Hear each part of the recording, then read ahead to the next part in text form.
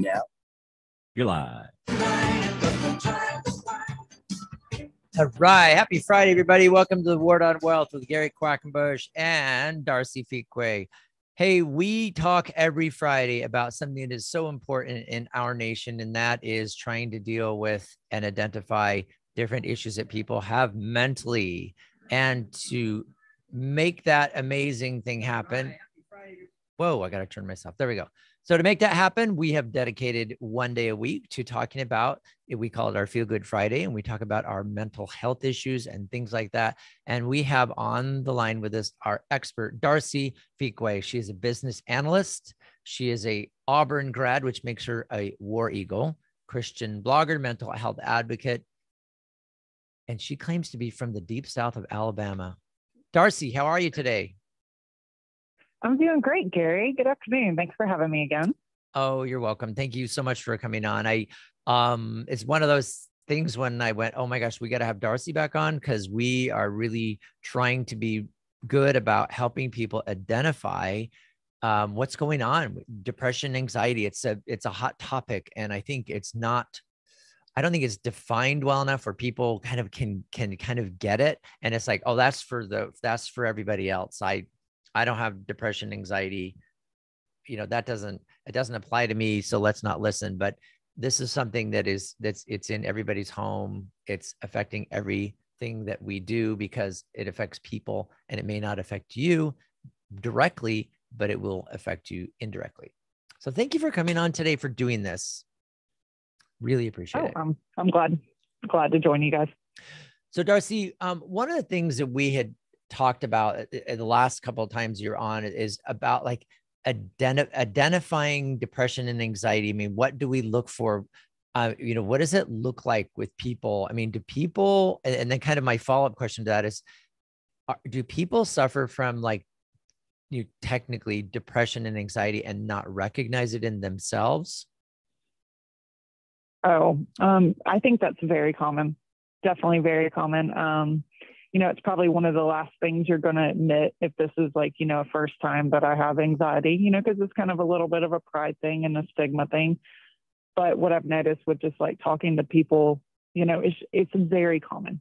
Now, of course, there are many, many, many causes, um, you know, of these disruptions and stuff in your body. Obviously, you know, biochemical things can happen, but, you know, mm-hmm. just our circumstances you know the the things that we're dealing with day to day. Just looking at the news for goodness gracious just makes me have depression. Yeah. Um you know but mm. I, I do think like like you were saying though a lot of people are w- waking up to this is what i would say. They they realize yes this is not you know this is not a place i want to stay whether it's depression or anxiety. You know anxiety can be debilitating. I mean obviously so can depression. Mm-hmm. so you know we want we want to push out of that you know that that mindset. We want to push out of that mindset and make ourselves healthy and you know get back to living. Now darcy sometimes i always feel like i mean I, i've always felt like you know when you talk about the word depression i mean it's become to be something kind of really heavy like oh wow that person you know is not just depressed but they're suffering from depression. It, and it sounds so clinical and it's like well that you know if you have depression then you've got a you've got a, a really serious problem. But then anxiety to me more sounds like oh they're just anxious they're just nervous about things they're just you know um, they're they're uncertain about what's going to happen. But it doesn't i guess to me and this is i know this is all wrong but it doesn't sound like that big of a deal that you're just kind of oh i'm just kind of anxious i'm unsettled i'm sweating. But and and but i believe i have that wrong because anxiety and depression don't they go hand in hand? I mean if it's like you have one you have the other they work together against each other. Is that right? Oh, I'm not quite sure that that would be the the case. I'm not quite an expert in that, but I know that like if you live with anxiety, you know, obviously on a regular basis, if it is something that makes you unsettled, or like say for instance, moms after having children, that's mm-hmm. a very common thing. Um, you know, because your heart is walking outside of you now, and you, you know, that the fears and the thoughts that come in through your mind, the intrusive thoughts and stuff like that, that can be very debilitating and overwhelming if it gets to a point to where you know you're having panic attacks you can't leave you know maybe you can't leave the house or trust somebody else to watch your child so at that point i would think that yes that that you know that anxiety would would cause me to be depressed. Mm-hmm. You know, um, I do think that they could go hand in hand, definitely, but not necessarily. Um, you know, I have a, a, lot of friends that do have, you know, battled clinical depression, mm-hmm. and they don't really have the kind of like fear and panic that a lot of people talk about with anxiety. You know, those panic attacks. And mm-hmm. um, I just think everybody has different levels of, you know, obviously of different mental disorders or mental duress, as I like to say, because all of us go through, you know, bouts of what we called funk the other day. We did a little mm-hmm. podcast and we called it, you know, just a week of funk, um, just down, down in my spirits and no particular reason except for I realized I was just not looking. I was looking more at the world and not at God. Mm-hmm. And so I had let things let things just kind of take me down. And then I realized that my focus was all wrong. And once I started to correct that and focus more on God and all the things that He's doing in my life and the hope He brings, then I began to come out of my funk, as we called it. Interesting. I, I love the way you're talking about that. And th- this kind of goes along with I think um, your book, Taking Care of Mom, when you talked about, I, I, I love the one quote in your book where you said it. You said, Gary, it's a book about parenting well when you don't feel well, and it's kind of like pushing through. And I, as you're kind of suggesting or mentioning, is like, you know, as a parent, sometimes being funk, you know, feeling like you're in a funk or that you're feeling down or whatever. It's like sometimes you sometimes you don't have a choice but to push forward, and it's like sometimes can be really really difficult but you're coming up with a solution which i really love. You say you you change your focus. Instead of focusing on yourself and saying oh you know the world is coming apart and i'm just sad and i can't really function today you start to refocus on god. So if you would help us out let's talk about how to make that focus. Get the focus off of yourself and onto god onto something bigger than you that makes it so that you can kind of get yourself out of or work towards getting out of the depression. Let's talk about some tools in that way, if we could. Okay, um, definitely. Well, one of the things I always like to do is um, prayer journal. Um, uh-huh. For me, especially as a as a mom, with just having a lot of things, it, you know, and I'm not saying this just as a mom, but that's what I was kind of writing for. Of course, dads, of course, anybody. Um, there's a lot of on our to do list you know, um, a lot of, and not just on our to do list. To me, I sometimes get overwhelmed by just like prayer requests in general. There always seems to be somebody in the family, a friend at church, somebody's sister, you know, that is in dire need of prayers and asking for prayers. And sometimes I can just write that down in my journal, just write their name down. God knows, God knows what the, what I'm praying for. And that way I've, you know, fulfilled it. I've, I'm praying for them and I've fulfilled it and I can get it down and then I can move on. You know what I mean? Not necessarily I move on, like that. I'm still going to pray for that person, but I can, it helps me focus. So the actual practice of writing helps me focus. Okay. Um, and I would say one of the other benefits within that is that um, I am establishing more of a relationship with God. You know, when I write my prayers in a diary, it, it helps me in a way to connect more to God and um, it, I can convey positive, negative emotions, fears.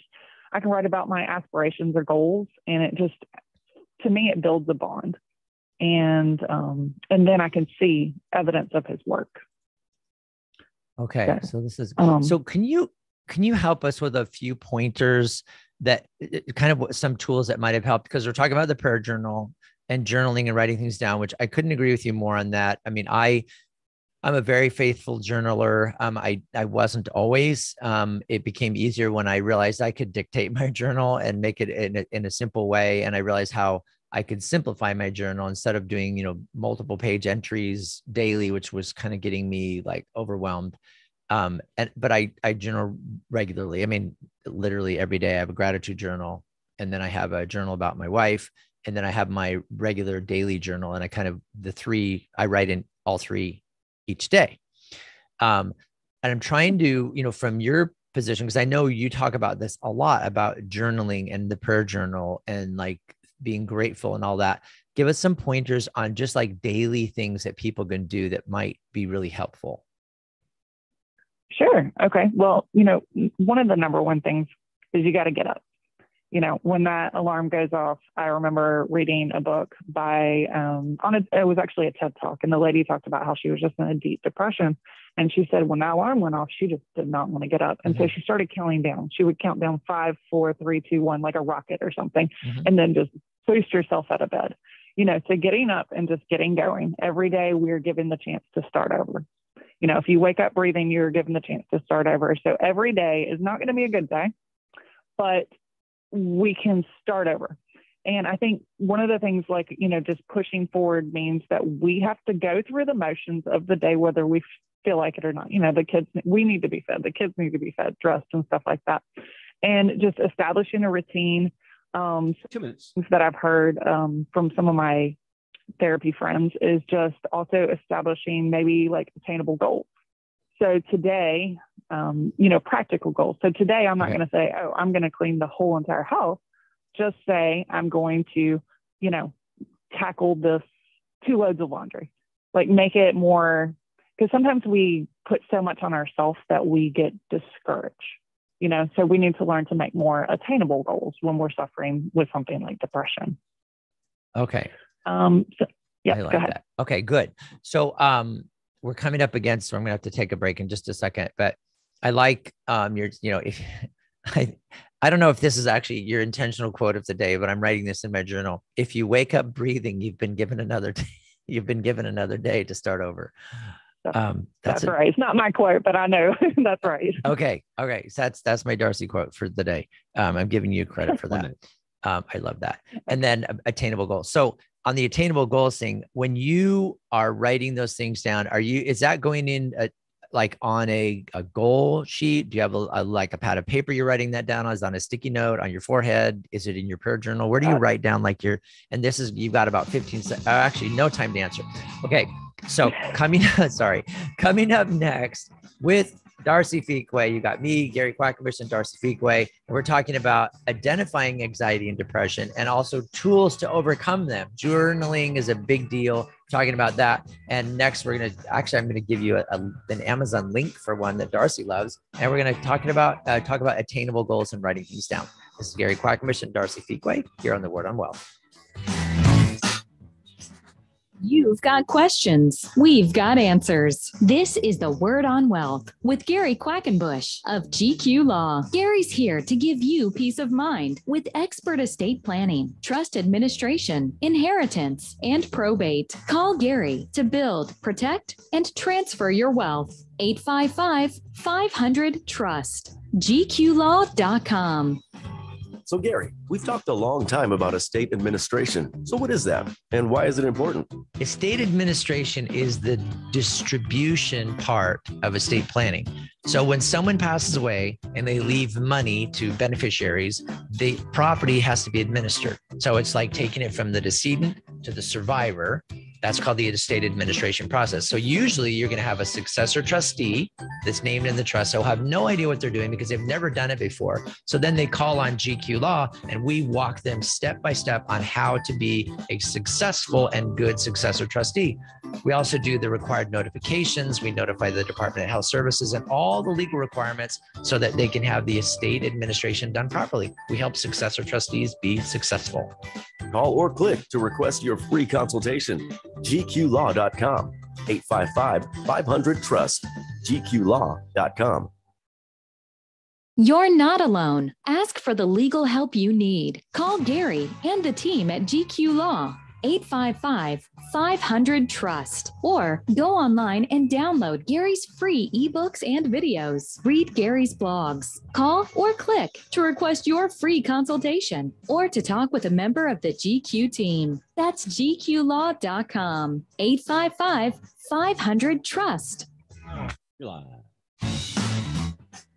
All right. You're listening to the Word on Wealth. We are on our Feel Good Friday where we talk about things of the day that are very important. Today, we're identifying uh, depression and anxiety. And better yet, we've got Darcy Fuqua, who is a business analyst and a mental health advocate who is helping us deal with some, uh, with some tools because we're giving you a toolbox, your little toolkit to help out when you are in a situation where we are calling it maybe it's not a clinical depression but maybe a funk or you're just down and oh man that's just one of those things. It doesn't matter whether it's spring or summer it just happens. And sometimes it just drives me crazy when it happens to me and it makes me mad and i don't know why. I'm just having this funk and things are not going my way and i just get mad. That's my thing which is kind of sad and but darcy's helping me out helping us out on ways to kind of avoid those issues and how to get out of our funk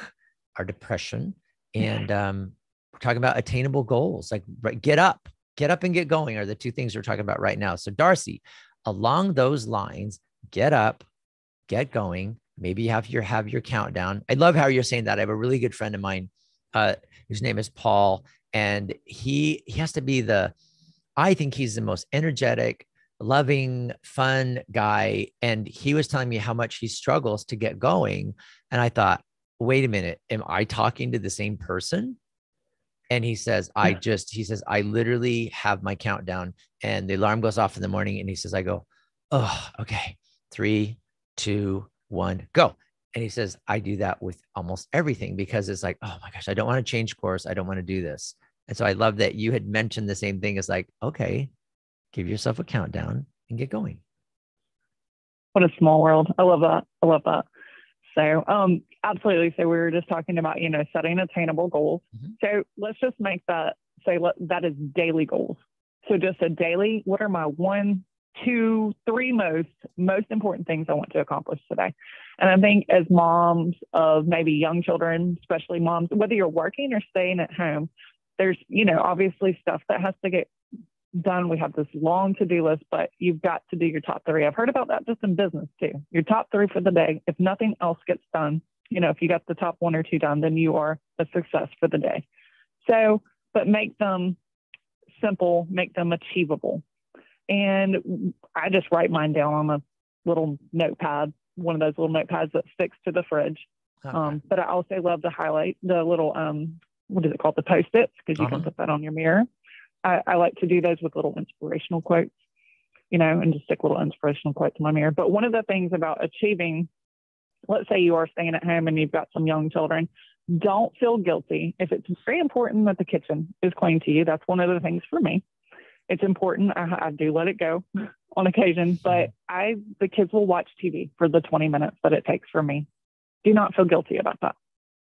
So don't feel guilty about achieving your top one or two when it means that your kids have to watch TV or play on their own.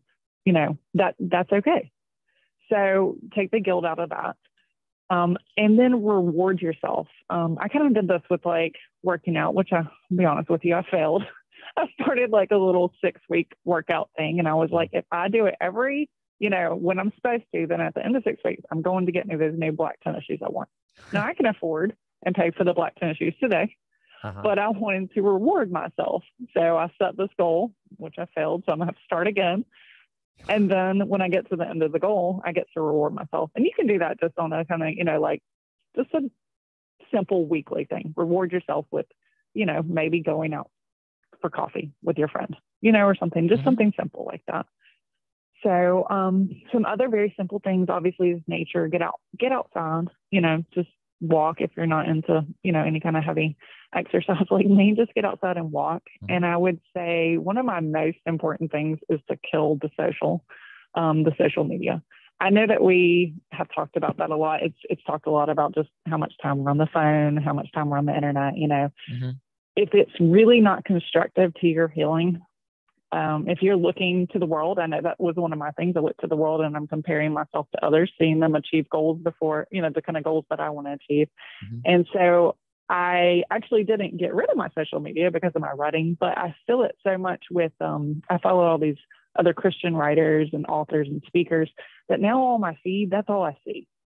I, I see, so, you know, you can kind of trick the algorithms, I guess, to say. If you're interested in photography, then follow a bunch of photographers and you'll see that that is what is on your feed more instead of paying attention to the grass is greener on the other side. Interesting. I love that. That's I, I um so we got some good points here. I want to go so as far as like the goals and it, some people I, have actually talked to people um, in their 20s who say you have a to-do list that's so so so like old school i went well thank you very much yeah i have a i have a to-do list i i do and I run a successful company and have for 33 years. And yeah, you're right. The to do list is important. Oh, that's so old school. I said, well, how do you keep track of it? Oh, I just do what comes up next. It's like, okay, tell me how that goes for the next five years. And then and let, let's talk about that. But it seems like um, I feel that sometimes we get a lot of, i don't know some people are just trying to push against whatever system there is there's kind of this pushback thing like it doesn't matter what system it's just like oh if that's a system if that's kind of what people do if that's kind of a thing then i'm different i'm unique i'm special i'm important i'm entitled and i'm just going to push back against whatever it is that somebody says is a thing.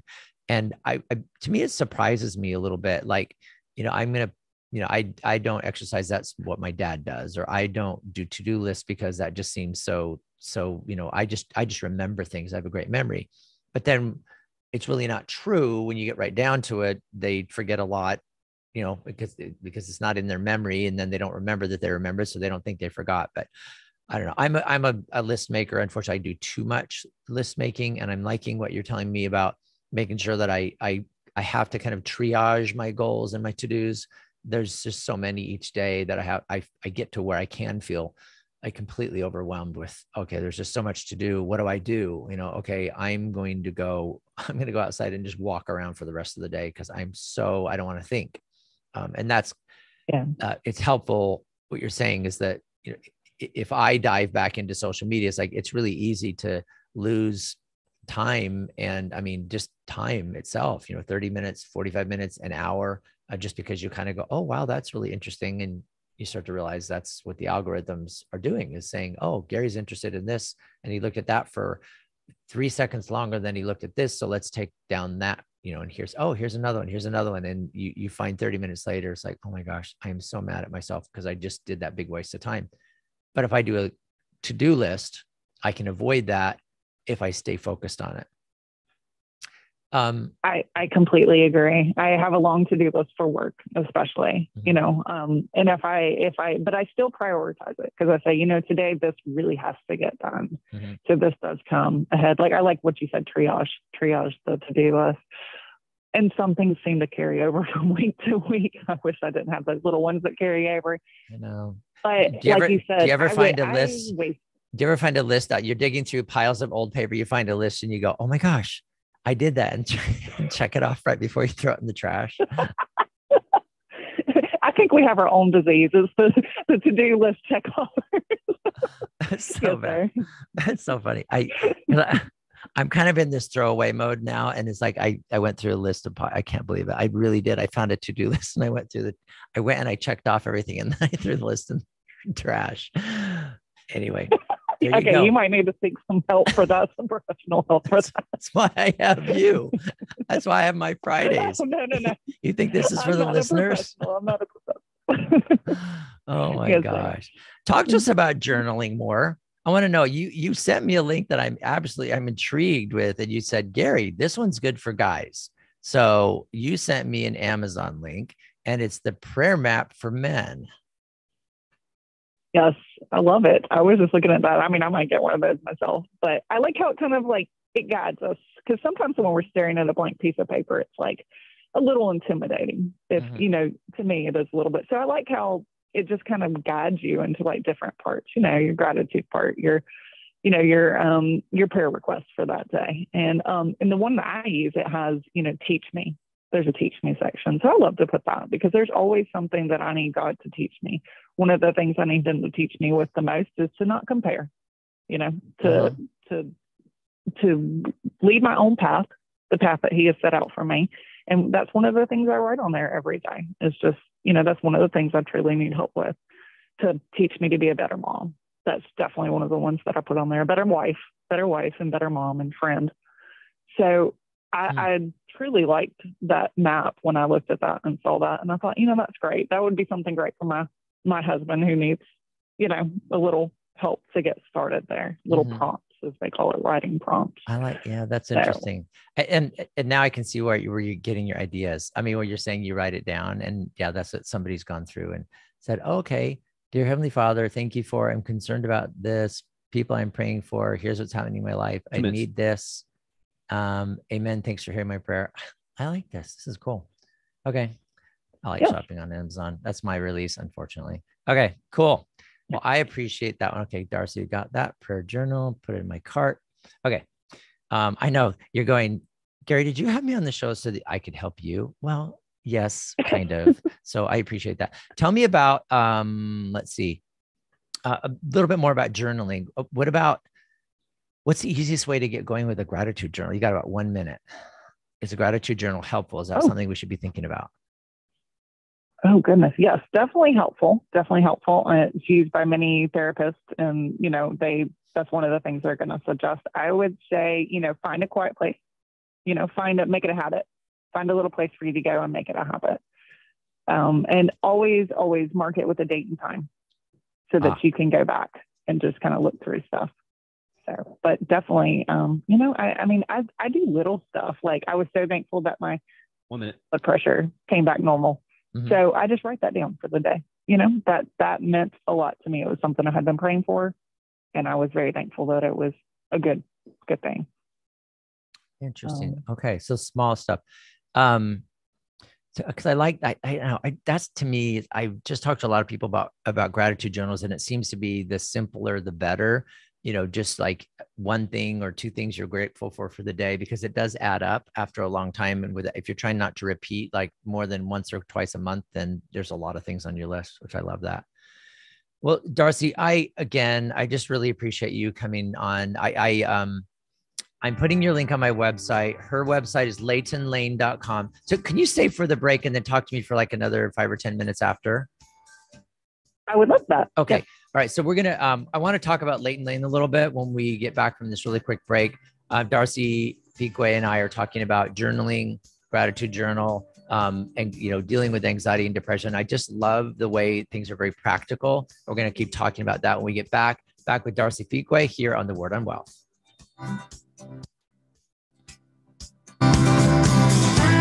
You don't need to know everything. You just need to know where to find answers you can trust when you need them. Welcome to the Word on Wealth with Gary Quackenbush of GQ Law. We're here to help you build, protect, and transfer everything you've worked hard for with expert estate planning, trust administration, inheritance, and probate. Call Gary and the team at gqlaw.com 855 500 Trust.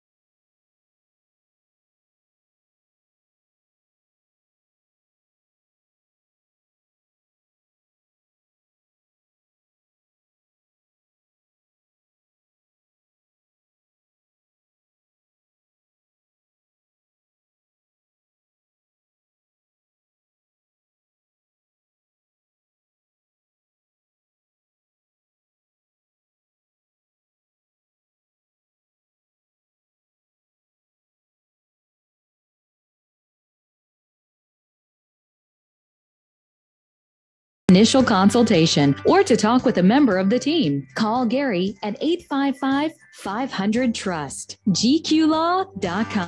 You're live. Okay, welcome back.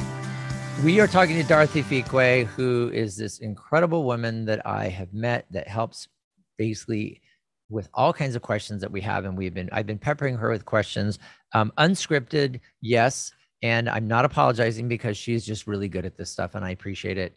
Um, Darcy's contact, you need to know a little bit more about Darcy. Okay. Her website is called Leighton Lane. That's L E I G H T O N Lane, leightonlane.com. And it talks a little bit about her. You can connect with her on Facebook and Instagram. And um, it, she's just a uh, she's a mom. She's been through some really tough times that have taught her to rely more on God, specifically so that she can then be refocused and move forward. And it's been she's had a an interesting journey. We've talked about it on past shows. And now I had her come on because I really love the way she talks about about journaling and dealing with depression anxiety through writing things down and i she was only she agreed to keep stay on to the break so we can kind of finish up a couple things but i wanted um you to talk a little bit more about the gratitude journaling. And and darcie i think if you could if you wouldn't mind is about give us why. I mean the journaling i think to me it's like we should just all be journaling. And i think some people need more of a why like how does it help and what does it do? Would you please address that for us? Sure. Okay. Well, you. know, there's a difference between the different journaling. Obviously, there's prayer journaling, like I was talking about, and then you're talking about gratitude journaling. And therapeutic journaling also includes, you know, gratitude journaling. And it's more about, you know, writing your thoughts and emotions. It kind of enables you to express them, you know, when you're writing them down, it, enables you to express them in a way that can help you work through some difficulties and move forward sometimes. And I think one of the most important things when starting, because it can seem be overwhelming, is just pick one topic that you want to explore. Like maybe it was a feeling, maybe it's some like resentment you have towards your mom, for instance. Mm-hmm. Maybe you want to start writing, you know, going back and visiting your childhood and writing some things that really you need to work through. And this can be a little bit triggering. So I do say, you know, you need to do that. If it, if it becomes too much, if the emotions are too strong, you do need to stop writing and maybe seek help from a professional therapist. But for me, writing on the blog and finding that courage to actually share what I went through has been a very cathartic process. Um, it started very small back in 2017, and I'm still small. But when I get a email from somebody that said, um, you know, hey, you, your honest thoughts on what it's like to be depressed and still have faith in God is helping me in tremendous ways. You know, I, it just takes one person and I get really excited and it makes me motivated to just keep going. Okay. Um, because so, so many of us are out there that are just like, well, I shouldn't feel this way. I'm a Christian, you know, I should feel that joy, but that's just so not the truth. That is not, you can Bible, go not very far in the Bible, and it's not shy on the hard stuff. You'll see the hard stories. You see David, King David, who sings praises in the Psalms, and the next minute, you know, he's cried all night on his pillow. So, I mean, you know, for us to think that, that we need to always be strong and joyful and stuff is just, it's dishonest to ourselves. It's just not normal. So I enjoy writing about that kind of stuff and making people realize they're not alone. They're not alone in these kind of feelings. And it doesn't make God love you any less, and it doesn't make you any less faithful. Charles Spurgeon is a wonderful example of that, the, the Prince of Preachers. Mm-hmm. There, he suffered with depression his whole entire life. They believed it was endogenous, I believe within. So this was before, you know, we had all the tests and the medicines and the doctors and stuff like that. So not really any known source except for it was a thorn he was given by God. Now you talk it before about um, you've talked about you know how do you live because you're bringing up a couple of topics is like you know we feel kind of as christians like i'm not supposed to feel this way. You know i i have faith and i'm i'm really doing the best i can and yet i just i'm not supposed to feel this way. And you're saying just read the scriptures and you're going to feel i feel that way too. I mean it's just like even with society if you get really you know upset about oh my gosh i can't believe this is happening and there's so many things that are going wrong and then we've got problems in high places and we've got problems in low places and it just seems like you know all these there's so much confusion on how you're supposed to think and act and there's so much conflict um, and then we're thinking oh my gosh this is so awful. How do we get through this? And i always i mean this year we're in this really intense study of the old testament. It's like just read the scriptures. This is not new. I mean, it's like we we can't even say, "Oh my gosh, this is a shocker." It's like this isn't a shocker. What what's happening in our world right now is just it's totally, you know, it's been foretold and it's just happening again and we're just going through the same process because we just don't do a good job learning about the past, you know, and because when we we forget about the past, we're doomed to repeat it and that's just what's happening now. Um, you had mentioned um, and I really I, I'm going a little off the journaling topic, although this is part of, I think, what I like to kind of journal about a little bit is how do I live a this this full life if god doesn't remove my thorn? You know i'm saying you know remove this from me. I i, I don't want this thorn. It's kind of it's a pain in the side or whatever and yet we're supposed to just move forward. How do we how do we live a faith-filled life if god doesn't remove our thorn you know when i when when you say those words and i think about it i think you start you start singing in prison. You know that's what i think about that you you come from within you find god within you know you use his strength. It's not our strength it's mm-hmm. his strength.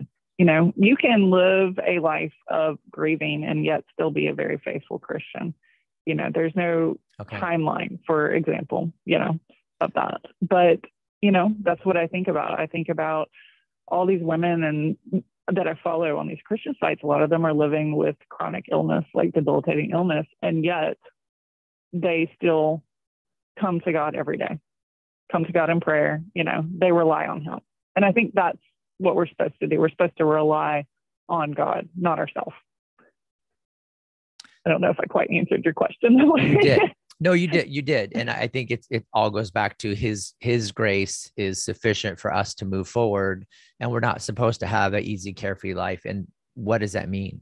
I mean, you know, real literally, it's like what when you know what it's like what do you want well i don't want to have this issue here okay what about this issue you know oh wait a minute we just have to kind of deal with what we've been given i mean the hand we've been dealt i don't it, it, we we can't pray for a different hand because we're supposed to be we're supposed to be deal with what we're supposed to deal and play with what we've got with what we've got you so, used the word persevere last time um persevere and that's not easy you know and i am not I can tell you I was not the best student when I went through my trial. Uh-huh. You know, I I was just like, you know, if you've got lessons for me to learn, God, let's just do this through osmosis because I was done with it. uh-huh.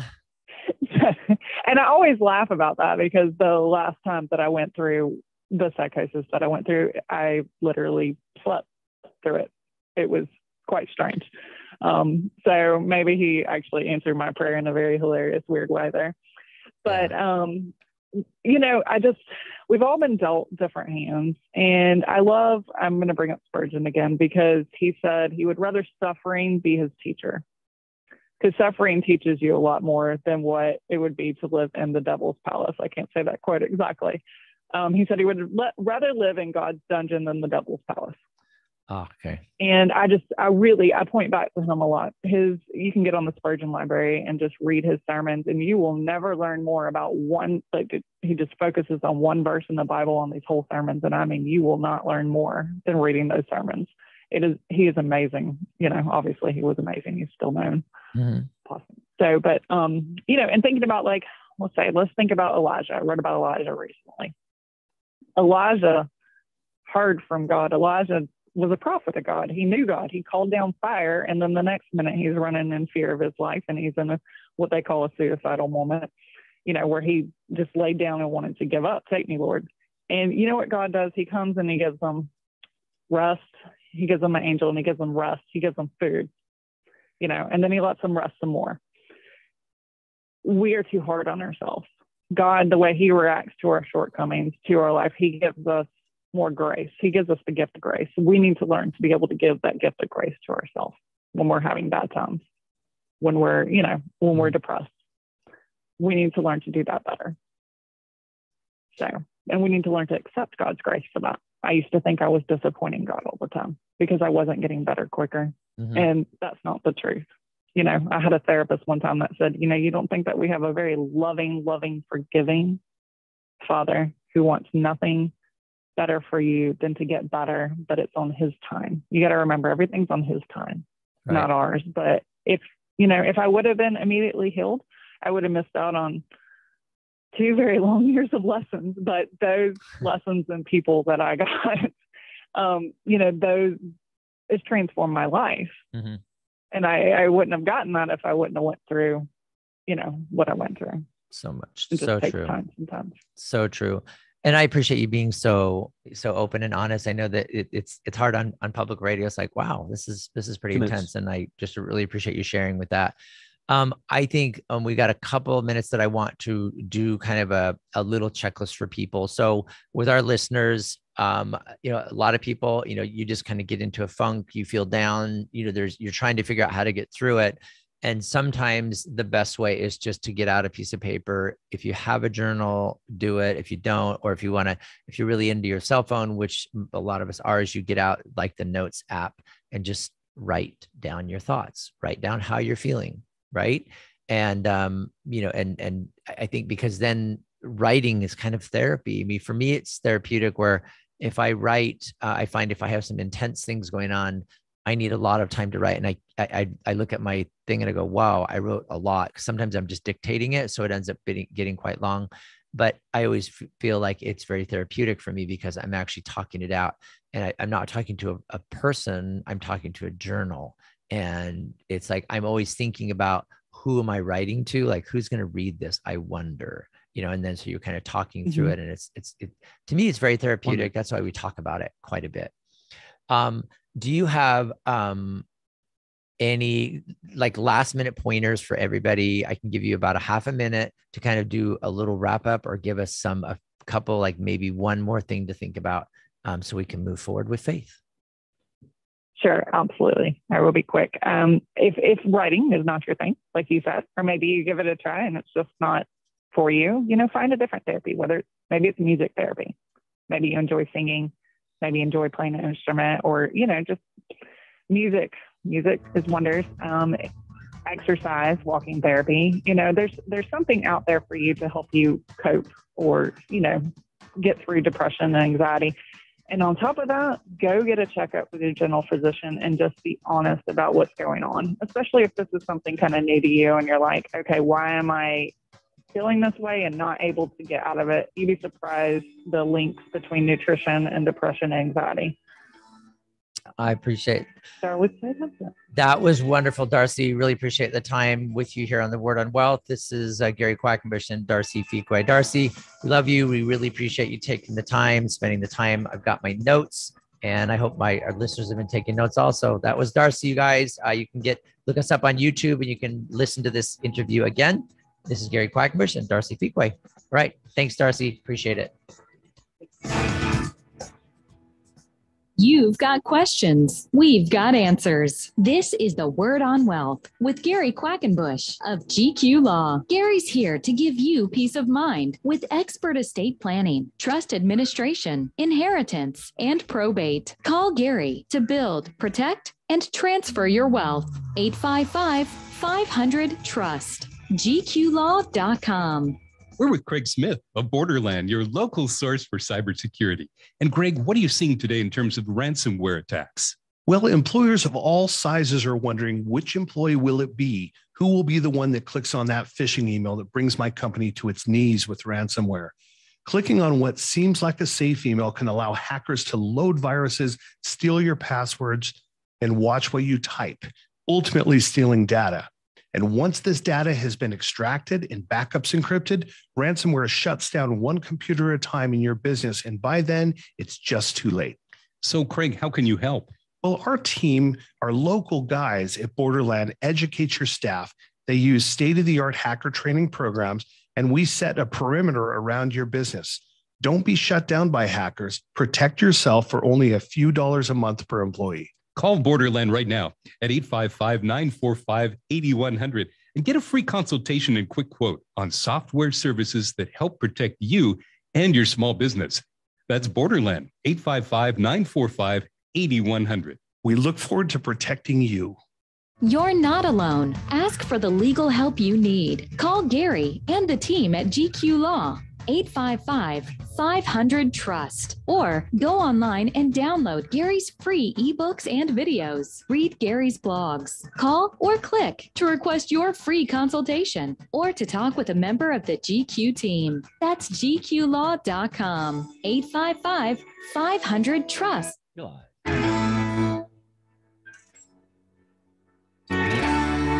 Happy Friday, everybody. Thanks for being along here on the Word on Wealth. I'm always glad to have you on the show and listening along and um, taking part of it, whether you're actually calling in or listening or re listening to this later on Facebook or YouTube.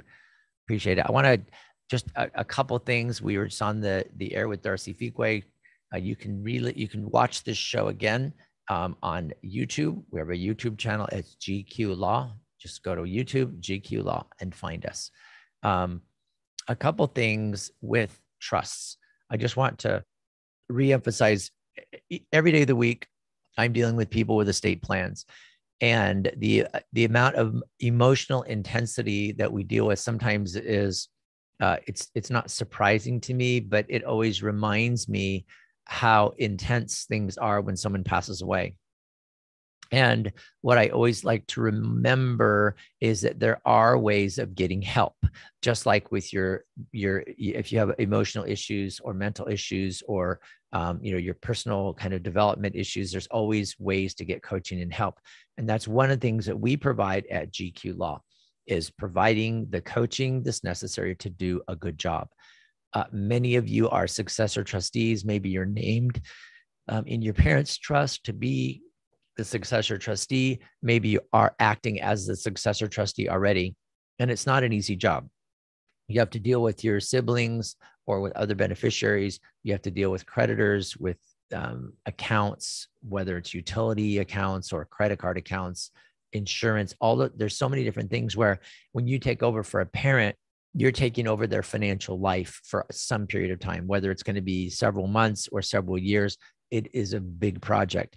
And in the meantime, you want to make sure that you get it right, that you give out, you you provide the required notifications and information that you're supposed to provide um, according to the California Probate Code.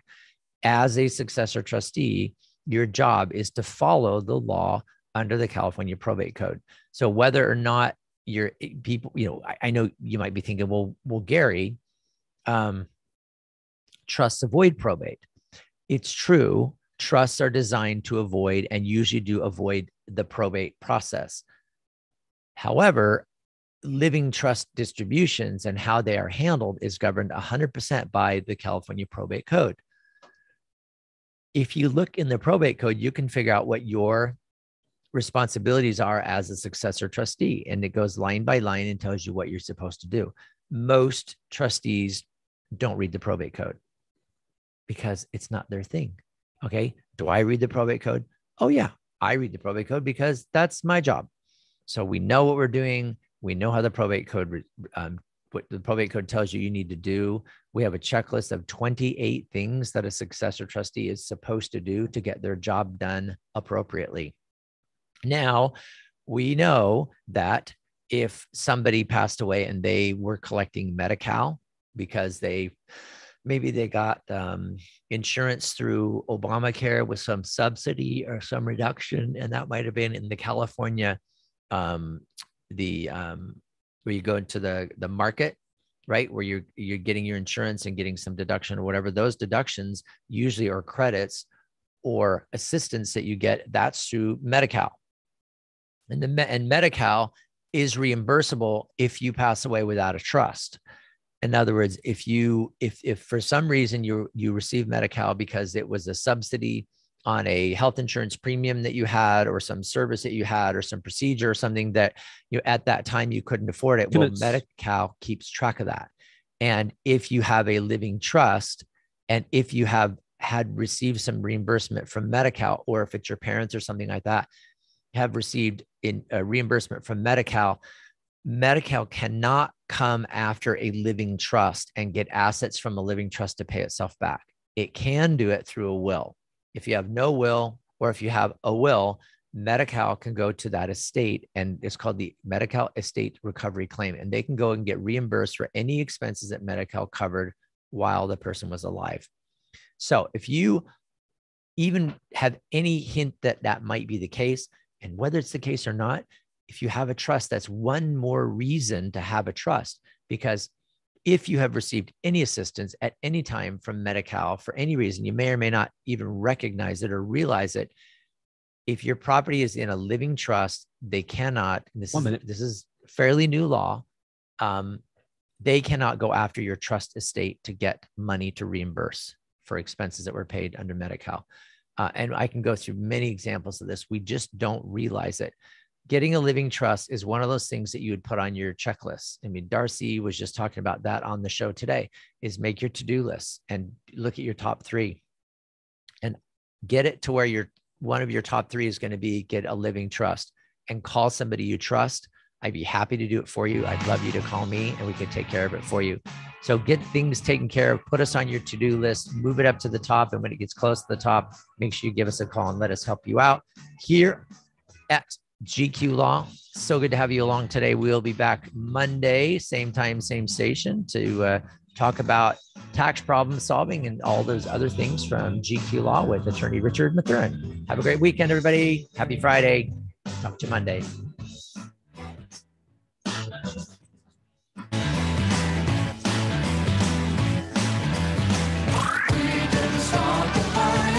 Tell a friend about the Word on Wealth, featured since 1995, with financial solutions attorney Gary Quackenbush, an expert in estate planning, wills and trusts, and tax problem solving. Gary is past president of the California Society of Tax Consultants. Reach out to us. The Word on Wealth team of financial experts is here to answer your questions and help you preserve your family's financial future. The information you hear on the Word Thanks, bud. information